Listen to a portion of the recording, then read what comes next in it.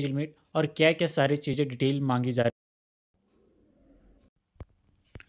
जैन साथियों तो चलिए आज की इस वीडियो में हम लोग बात करने वाले हैं टीए आर्मी रैली रिक्रूटमेंट 2024 के बारे में, ठीक है? जो भी बच्चे टी ए आर्मी का इंतज़ार कर रहे थे वैकेंसी आने का, उसका ओपन रैली नोटिफिकेशन जारी कर दिया गया, ठीक है? अगर अब ये नोटिफिकेशन जारी हो गया, इसको पढ़ के आप अप्लाई करना चाहते हैं तो ज़रूर अप्लाई कीजिएगा, ठीक है? इससे पहले दोस्तों क्या क्या इसमें एजुकेशन क्वालिफिकेशन क्या एज लिमिट और क्या क्या सारी चीज़ें डिटेल मांगी जा रही है, अगर वो पता हो तो अपने अच्छे से फॉर्म अप्लाई कर सकते हो, ठीक है? तो चलिए, सबसे पहले हम कंटिन्यू करते हैं कि टी आर्मी रैली में कौन कौन से बच्चे अप्लाई कर सकते हैं क्वालिफिकेशन क्या होना चाहिए, सारा डिटेल कवर करेंगे, ठीक है? इससे पहले बता दें, अगर आप चैनल पर नए हो तो चैनल को सब्सक्राइब कर लेना, वीडियो पर नए हो तो वीडियो को लाइक कर लेना, ठीक है? चलिए वीडियो को कंटिन्यू करते हैं। सबसे पहले आप यहाँ पे देख सकते हैं, ये 16 मार्च 2024 को नोटिफिकेशन जारी किया गया, ठीक है? टीए आर्मी रैली रिक्रूटमेंट 2024 जो कि आपका ट्यूटोरियल आर्मी रिक्रूटमेंट है, जो कि ओपन रैली भर्ती निकाली गई है, ठीक है? चलिए इसके अंदर क्या क्या क्वालिफिकेशन मांगा गया, क्या एज लिमिट होना चाहिए, सारा डिटेल बात करते हैं। सबसे पहले अगर बात करें ऑर्गेनाइजेशन का तो या टी आर्मी वैकेंसी होगा। एग्ज़ाम नेम की अगर बात करें तो टीए भर्ती होगा, ठीक है? याद रखिएगा अप्लीकेशन मोड तो यह ऑनलाइन होगा। कि जॉब कैटेगरी आपका डिफेंस जॉब आएगा, ठीक है? ये दोस्तों ऑल इंडिया का डिफेंस जॉब है। याद रखिएगा, अगर आप अप्लाई कर रहे तो अच्छे से अप्लाई करना, ठीक है? जॉब कैटेगरी की अगर बात की तो ऑल ओवर इंडिया का होगा। एग्जामिनेशन सेंटर आपका ऑल ओवर इंडिया में कहीं भी दिया जाएगा, ठीक है? इसीलिए दोस्तों, आपको ध्यान से, आपको सोच समझ के भरना है आंसर यहाँ पे सेंटर चूज़ करना है, ठीक है? तो सबसे पहले अगर बात किया जाए अप्लाई मोड का तो यार डायरेक्ट जो है भर्ती होगा, ठीक है? वो करना अप्लाई तो ऑल इंडिया के बच्चे अप्लाई कर सकते हैं स्टेट वाइज ठीक है? याद रखिएगा ऑल स्टेट के बच्चे पार्टिसिपेट हो सकते हैं। इंडिया के अट्ठाईस स्टेट है, अट्ठाईस स्टेट का कैंडिडेट है, यहाँ पे पार्टिसिपेट हो सकते हैं, ठीक है? जेंडर के लिए अगर बात की तो केवल मेल बच्चे अप्लाई कर सकते हैं। और यहाँ पे बात करते हैं टी आर्मी वैकेंसी के बारे में। तो यह दोस्तों आपका ट्रेड वाइज जो है कैटेगरी वाइज निकाला गया, ठीक है? यह दोस्तों सोल्जर जीडी के लिए है सोल्जर कलर के लिए है सोल्जर स्टाफ के लिए है, ठीक है?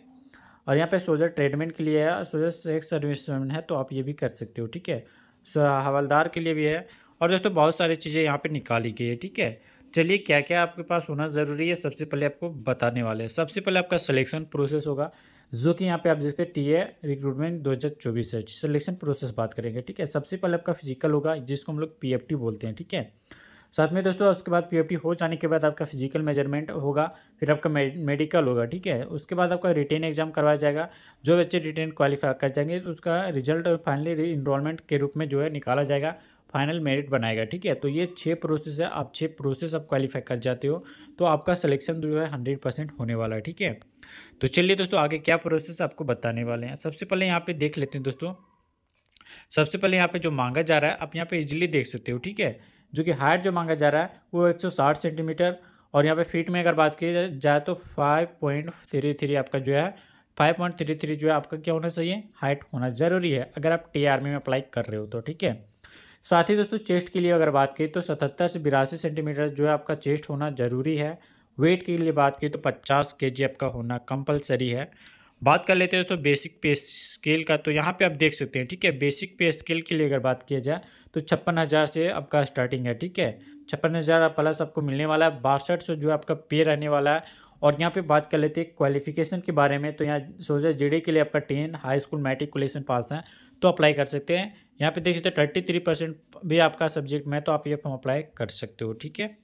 याद रहे दोस्तों, आपका सारे सब्जेक्ट के बता चुके हैं दोस्तों। आप यहाँ पे देखते हैं, यहाँ पे कैटेगरी वाइज और दोस्तों पोस्ट वाइज जो है, यहाँ पे क्वालिफिकेशन मांगा जा रहा है, ठीक? बात कर लेते हैं दोस्तों यहाँ पे एप्लीकेशन फ़ी के बारे में। तो यहाँ पे देख सकते हैं दोस्तों। यहाँ पे दोस्तों देख सकते हैं एप्लीकेशन फ़ी के बारे में। तो जनरल अदर वाले के लिए सौ रुपया रिज़र्व कैटेगरी वालों के लिए ज़ीरो रुपया रखा गया है। यहाँ पे बात कर लेते हैं पेमेंट मोड का। तो credit card debit card net banking से पेमेंट को कर सकते हैं। इंपॉर्टेंट डेट के लिए अगर बात किया जाए तो यह दोस्तों सत्रह मार्च से स्टार्ट हो चुका है अप्लाई होना। इसका रजिस्ट्रेशन का लास्ट डेट जो है सत्रह, सत्ताईस मार्च तक रखा गया ठीक है? यानी दस दिनों का टाइम है आपके पास। अगर ये दस दिन के अंदर आप अप्लाई कर लेते हैं तो आपका जो है कोई भी डाउट नहीं होगा, ठीक है? उसके बाद दोस्तों रनिंग होगा, उसके बाद एग्ज़ाम होगा, उसके बाद आपका एडमिट कार्ड आ जाएगा, ठीक है? याद रखिएगा दोस्तों, सबसे पहले यहाँ पे रनिंग होने वाला है। तो चलिए दोस्तों, आगे क्या क्वालिफिकेशन मांगा जा रहा है, क्या प्रोसेस है, बताते हैं। बात कर लेते हैं यहाँ पे कैसे अप्लाई करना है, कौन से लिंक से जाके आपको अप्लाई करना है, जो कि इसी तरीके से अप्लाई हो जाएगा। तो अप्लाई करने का लिंक इसका ऑफिशियल वेबसाइट का लिंक इसका नोटिफिकेशन का लिंक ये तीनों का लिंक जो है ना दोस्तों, वो हमारे टेलीग्राम व्हाट्सएप ग्रुप पे दे दिया गया ठीक है? तो आप वहाँ जाके ज्वाइन कर लेना, बहुत ईजी तरीके से समझ में आ जाएगा कैसे अप्लाई करना है, ठीक है? जो भी बच्चे को डाउट है कि कैसे अप्लाई किया जाए तो डायरेक्ट हमें व्हाट्सएप ग्रुप और टेलीग्राम में जाके ज्वाइन कर लेना। लिंक आपको वीडियो के डिस्क्रिप्शन में दिया गया, ठीक है? तो चलिए, अभी भी कोई डाउट है तो आप हमें डायरेक्ट मैसेज कर देना, ठीक है? हम आपको बताएँगे क्या क्या प्रोसेस है, कैसे अप्लाई करना है, ठीक है? तो चलिए दोस्तों वीडियो अगर अच्छा लगा तो वीडियो को लाइक कर लेना चैनल पर नए हो चैनल को सब्सक्राइब कर लेना, ठीक है? मिलते हैं दोस्तों फिर किन्हीं नेक्स्ट अपडेट के साथ। तब तक के लिए जय हिंद, वंदे मातरम।